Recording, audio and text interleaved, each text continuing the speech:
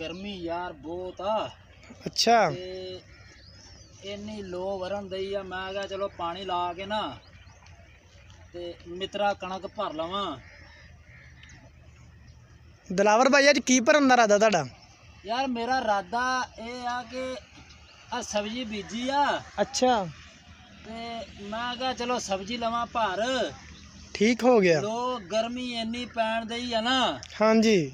ਛੱਡ ਗੱਲ ਤੇ ਬਹੁਤ ਗਰਮੀ ਆ ਯਾਰ। ਗਰਮੀ ਤੇ ਯਾਰ ਇਦਾਂ ਹੀ ਆ ਬਸ ਕੀ ਕਰੀਏ ਹੁਣ ਫਸਲ ਨੂੰ ਪਾਣੀ ਤਾਂ ਲਾਣਾ ਨਾ ਫਿਰ। ਖਾਣਾ ਕਿੱਥੋਂ ਜੇ ਇਹਨੂੰ ਪਾਣੀ ਨਾ ਲਾਇਆ ਤੇ। ਨਹਿਰਾਂ ਦਾ ਪਾਣੀ ਤੇ ਜਿਹੜਾ ਹੈ ਨਾ ਆਉਂਦਾ ਕੋਈ ਨਹੀਂਗਾ ਸਹੀ ਹੈ ਨਹਿਰਾਂ ਦਾ ਪਾਣੀ ਪਤਾ ਨਹੀਂ ਕਿੱਥੇ ਦਰਿਆ ਬੰਦ ਹੋ ਗਏ ਪੀਟਰਾਂ ਦਾ ਬਾਲ ਬਾਲ ਜਿਹੜਾ ਹੈ ਨਾ ਡੀਜ਼ਲ। ਮਹਿੰਗੇ ਭਾਅ ਦਾ ਡੀਜ਼ਲ ਆ। ਇਹ ਬਾਲ ਬਾਲ ਜਿਹੜਾ ਹੈ ਨਾ